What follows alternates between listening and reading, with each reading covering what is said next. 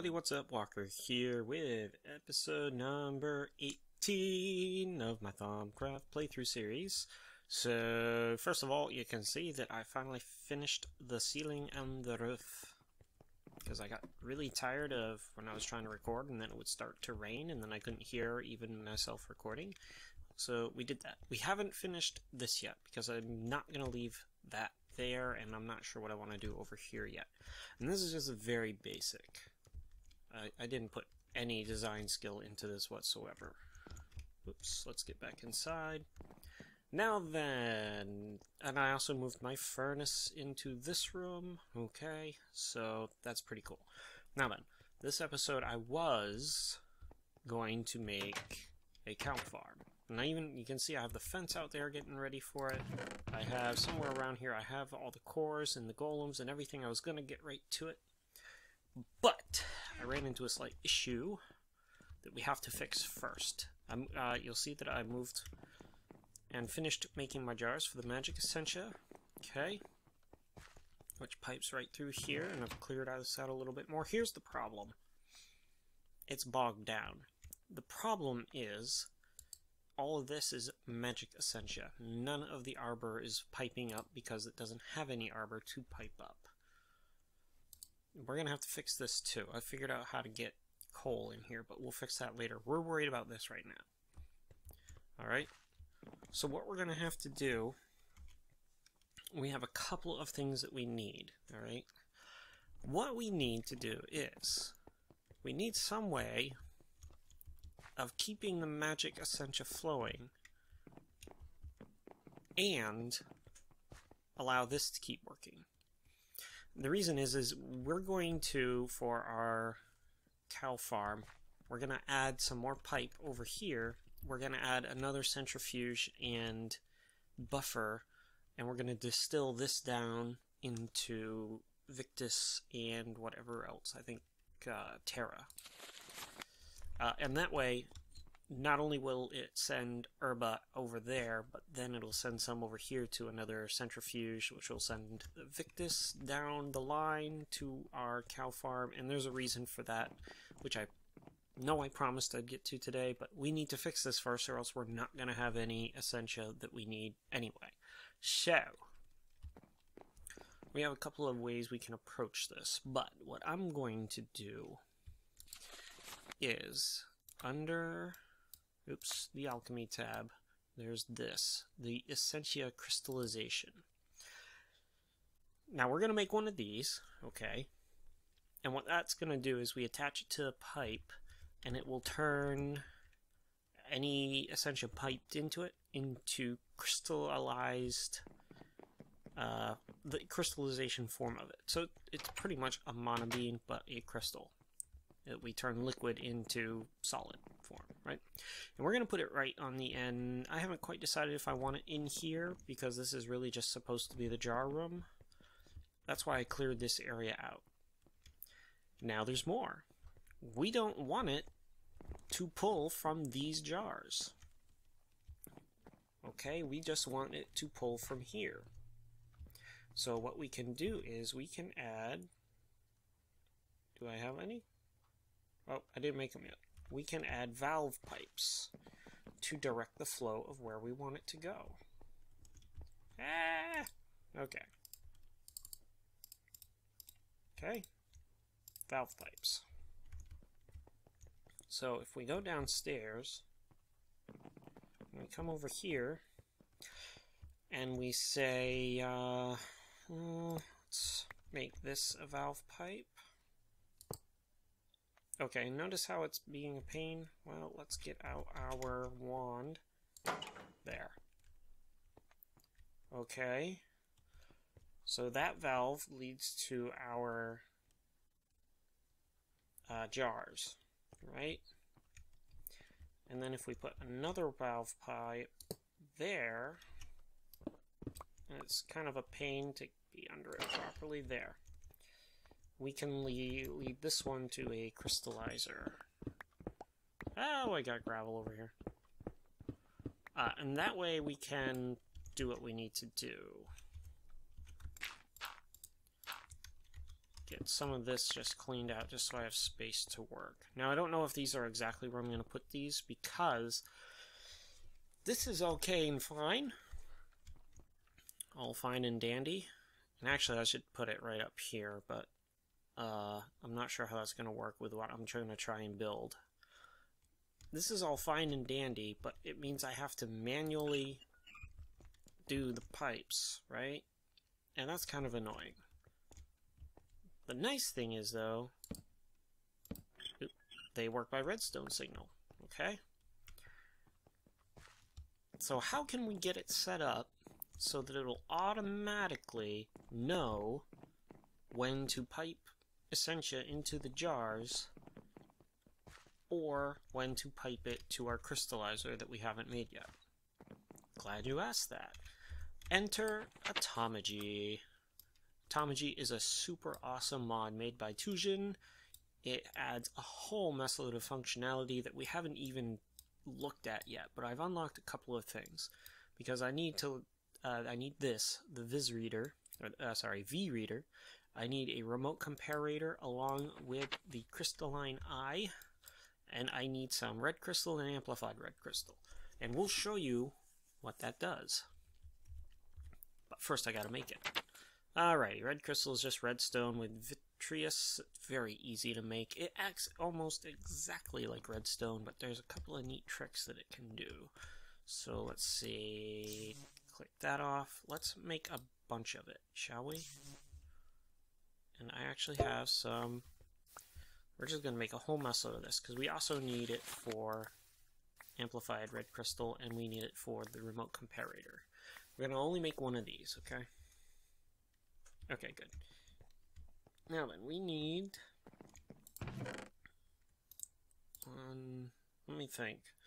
The amplified, I only need one of the amplifieds. Uh, don't need that. Oh, wait, yes I do. I need... Not that, not... Oh. Is it just in a table now? Oh, it's just in a table. Well, that makes life a lot easier. There, okay, now we got our amplified redstone, and we got our red crystal. Now then, we need... Um, just red. Oh no, it's a derp.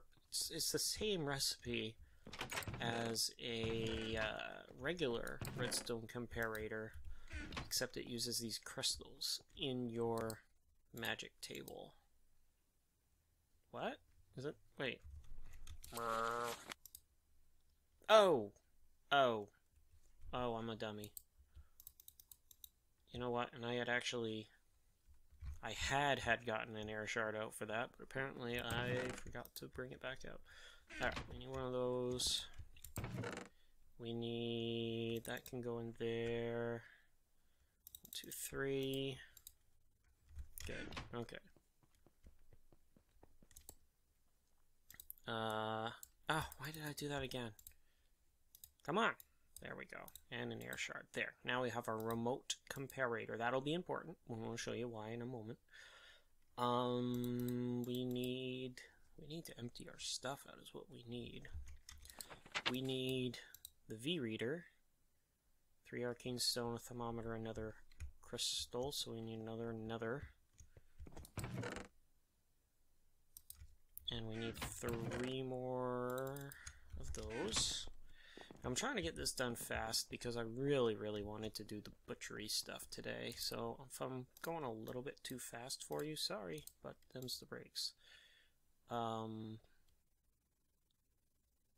yeah, that there, and wasn't there supposed to be? Man, I hate having a. God. There. Okay, V-Reader. Good. The V-Reader is really cool. It actually reads the amount of V that's in stuff. See, I even had this table set up to get ready for the butchery one, uh, butcher core and everything, but we'll just have to get to it next episode. So, if I put the V-Reader underneath that, see how it says that it sees that there's 64 in there, and I can even right click on with a wand and set. So right now it's in total mode with auto capacity. I can set it to say, all right, if there's 1, if there's 8, 25, yada, yada, yada, all the way up there. I can set what side it outputs to, and I can invert the signal. Okay, so if these are true, it will output a signal. If, or, if any of these are not true, it'll output a signal, if I remember right. Um, the modes are pretty self-explanatory. So inverse mode is pretty self-explanatory. Total, uh, total count of all aspects compared against the capacity. Uh, high mode, the highest count of any one aspect will be used for the value. Same with low mode is just the opposite. And then capacity is if the item is full, output the signal. Okay, and you can use these for nodes, you can use these for a bunch of stuff. Check them out and I'll go. I mean, I am to have to use a messload of these later on, so I'll explain them way better later on. But you're to see a basic use for them. I'm to put this bad boy down. Oh man. What I'm to have to do is I need to make an if-then circuit. And I'm terrible at making redstone circuits.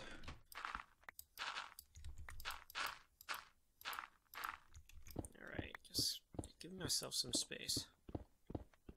I'm honestly I'm terrible at making circuits, so we're gonna we're gonna try and see what happens. And I might have to pause to get some stuff. Oopsies. Well, it's just the bottom. So I'm almost halfway done this episode already.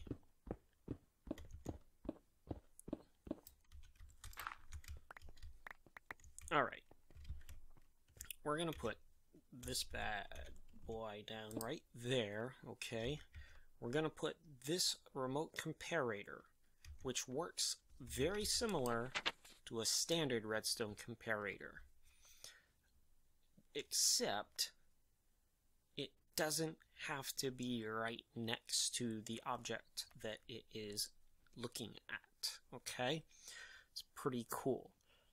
Now, the other thing that you can do is you can have it look at other things, okay? So what we're going to do is we're going to put this right on top of the V reader, okay? Um, so normally you would put like a redstone comparator next to a chest, right? And it would output a signal based on the how full the chest is or something like that. Well, the comparator you could put down the line and it would react to how full the chest is.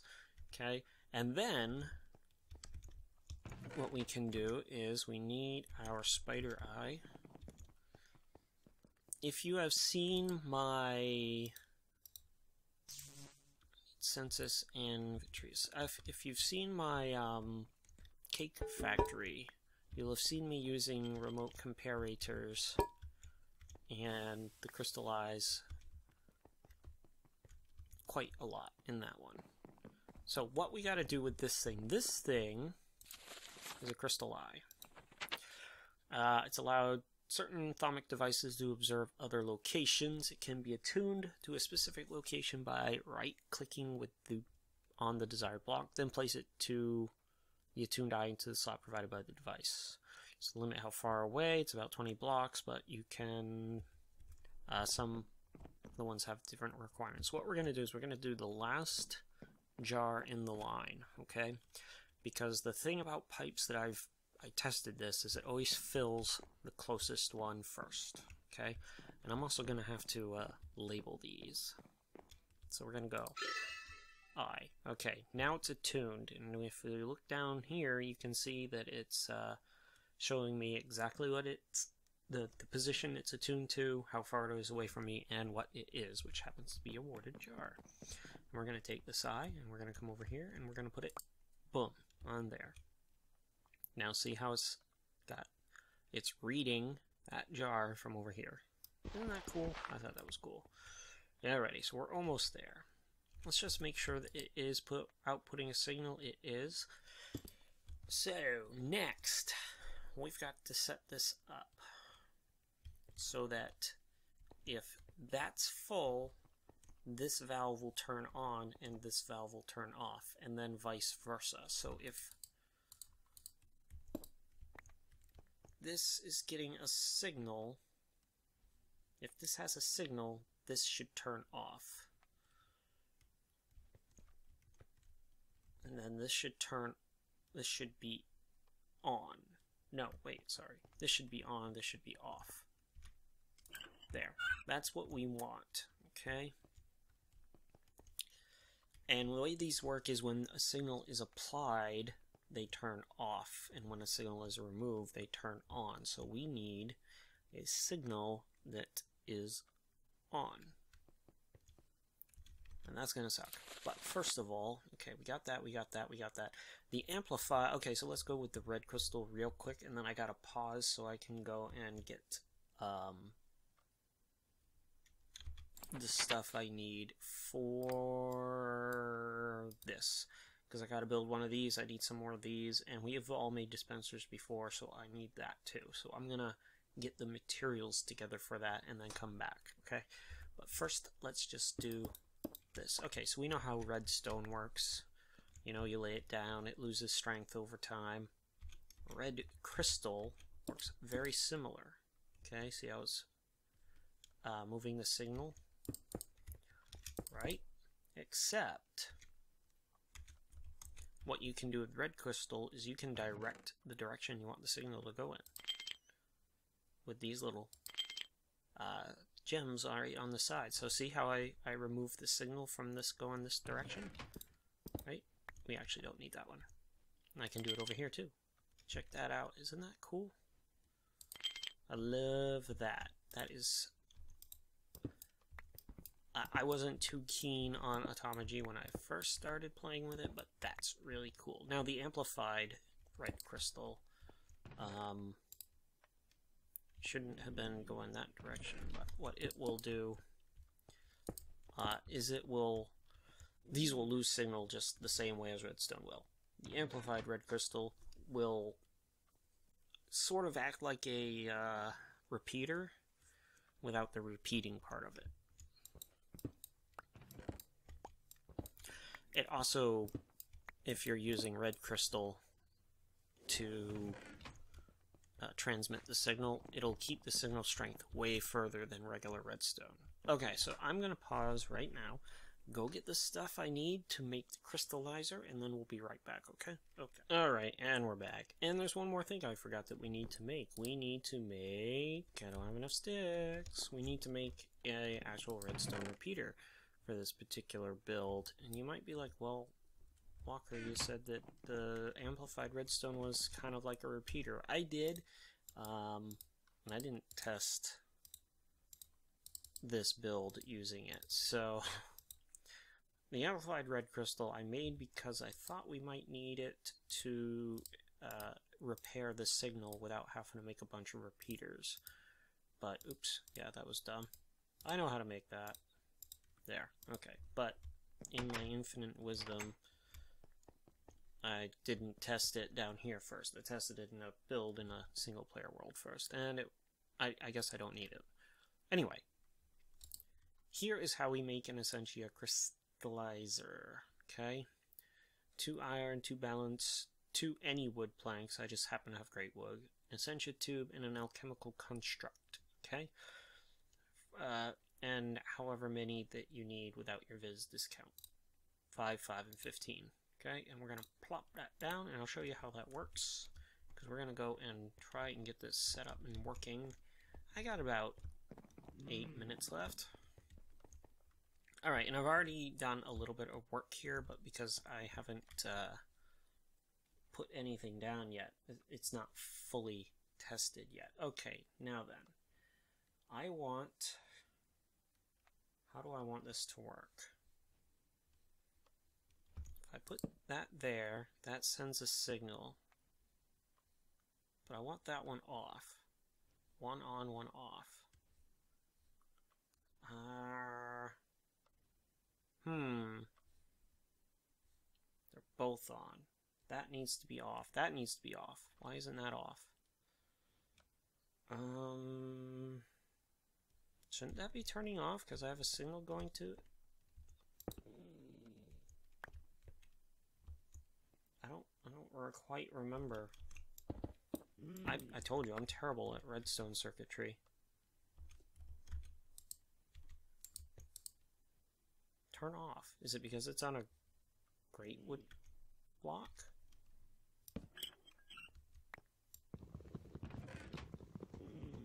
That shouldn't matter.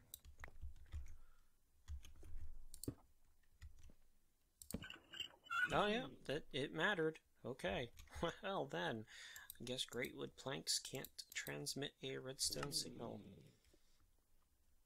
You know what? I don't actually know if I don't honestly know if that's the tr truth for all of it.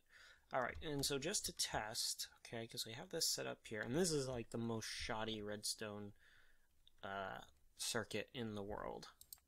But we're going to, we need our wand, we're gonna invert the signal, and it works.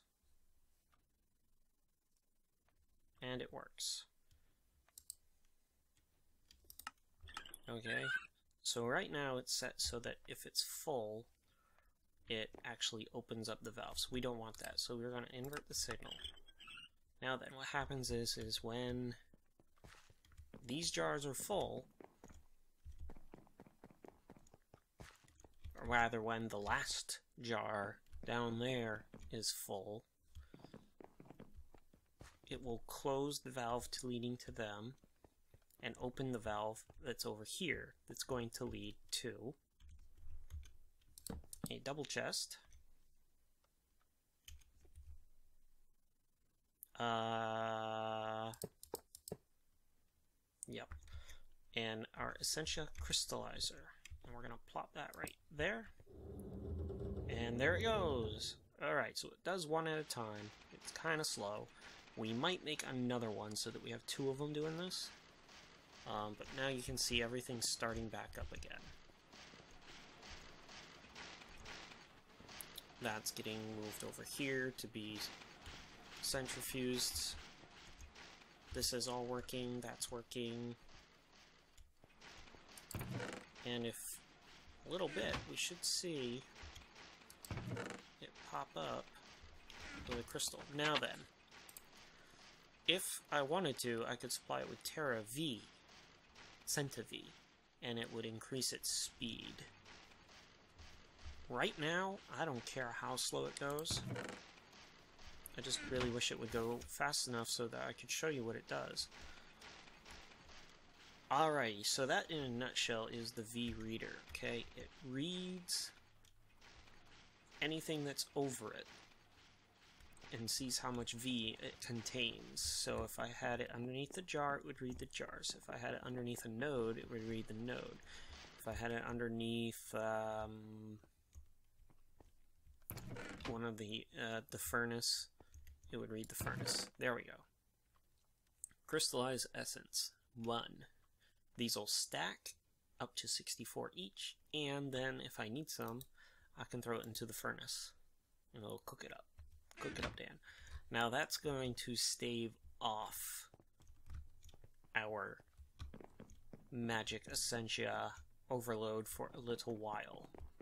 It's very slow to process, as we've seen. It will at least let us uh, keep this running for quite some time. Sorry, sorry, little buddy. Now, now another thing that we're gonna have to do, but I'm gonna wait until after I've gotten done getting the butchery set up. See, I even I had it all ready to go. Hi.